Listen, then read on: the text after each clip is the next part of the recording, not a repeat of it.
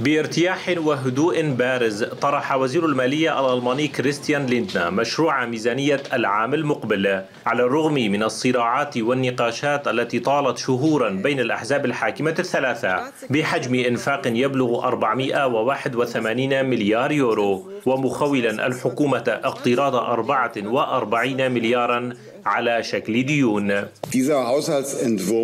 Und ihn gibt وجود مسودة الميزانية هذه يظهر الاستقرار ويتوجب أن يجلب الأمن. نمر حاليا في ظروف جيو استراتيجية غير هادئة وعدم الاستقرار متواجد داخل أوروبا.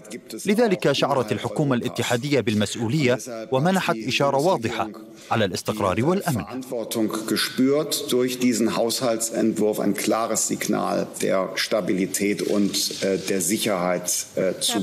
أكثر الوزارات استفادة من الميزانية ستكون وزارة الدفاع والتي سيبلغ ميزانيتها 52 مليار يورو. تليها وزارة المواصلات والرقمنة ب 46 مليارا. بينما منظمات المجتمع المدني والإغاثة تنتقد تراجع دعمها حيث تقلصت ميزانية وزارة التعاون الاقتصادي والتنمية حوالي 9% عن ميزانية العام الماضي. Und das bedeutet, dass wir demnächst nicht mehr so viel fördern können, wie wir das gerne würden, insbesondere im Bereich der Humanität. تعني هذه التقليصات أننا لن نتمكن من تقديم الدعم كما نرغب وبشكل خاص في مجال المساعدة الإنسانية حيث تقلصت ميزانيتنا بحوالي الخمسين بالمئة.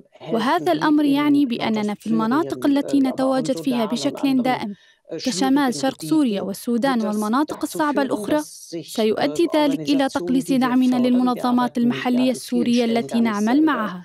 لذلك سنفكر في طريقة إبقائنا لدعمنا لهم بشكل مستقر. Wie können wir die weiterhin stabil und sicher für ihre Arbeit auch mit Ressourcen versorgen? للتصديق على الميزانية يجب تمريرها عبر البرلمان الخريف المقبل بعد انقضاء العطلة الصيفية.